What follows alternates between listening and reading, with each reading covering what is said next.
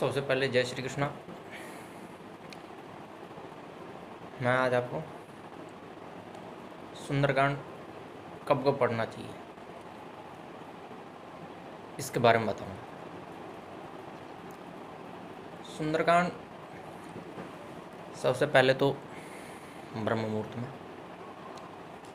यानी तीन से लेकर पाँच बीस के बीच तक पढ़े तो सर्वोत्तम, सबसे ज़्यादा उस समय क्या हनुमान जी जगते हैं और देखते हैं कि कौन मेरी सेवा कर रहा है। फिर हम पढ़ सकते हैं जब श्री राम जी शयन करते हैं दोपहर में, डेढ़ से लेके चार बजे तक पढ़ सकते हैं। वो भी बहुत अच्छा होता है। या फिर हम पढ़ सकते हैं रात को ग्यारह बजे के बाद। वो भी बहुत सर्वोत्तम है। रात में पढ़ा हुआ तो बहुत ही ज़्यादा सर्वश्रेष्ठ है। मतलब हर हर एक देवता की प्रसन्नता के लिए आप रात को आप कोई भी पाठ कर सकते हो। हरी, जो भी सभी देवी देवता बहुत खुश होते हैं रात को जो पूजा करते हैं ना, क्योंकि भगवान श्री कृष्ण ने गीता में कहा है, रात में ज्ञानी जगते हैं और दिन में अज्ञानी। तो सुंदरकांड पढ़ते हैं तो तीन समय है उपयुक्त। सुबह का तो सर्वोत्तम है, फिर रात का, बहुत अच्छा है।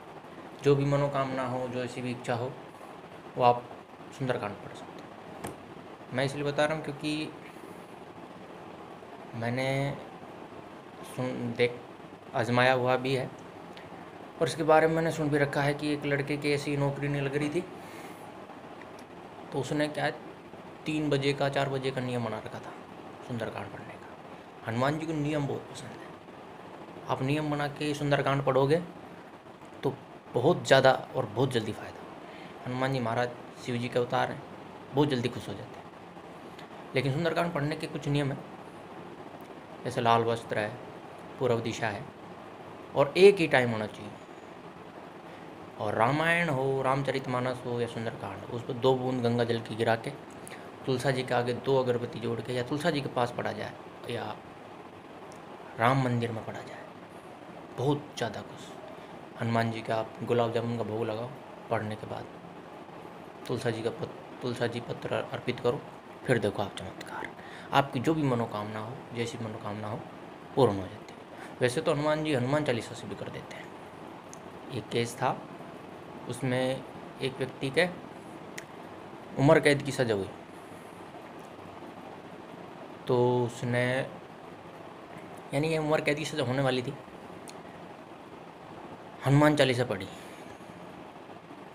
108 बार, फिर उसकी लय लग गई। 108 बार से ज़्यादा 200 250 पढ़ते ही रहा, पढ़ते ही रहा। बताओ, बाकायदा बरी होकर आ गया उम्र कैद टल गई। तो ये हनुमान जी चमत्कार है। कलयुग के देवता है हनुमान जी।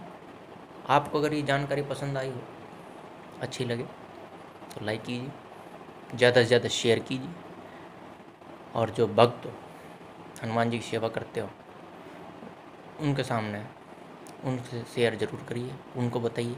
और जो पढ़ाई करते हो, उनके लिए तो हनुमान जी बहुत अच्छे हैं। पढ़ाई करने वाले बच्चे हनुमान जी को बहुत ज़्यादा पसंद है। नौकरी नहीं लग रही हो तो भी कर सकते हैं। हनुमान जी बहुत ज़्यादा साथ हैं। तो सब्सक्राइब करिए चैनल को, ज़्यादा से ज़्यादा शेयर कीजिए। जय श्री कृष्ण।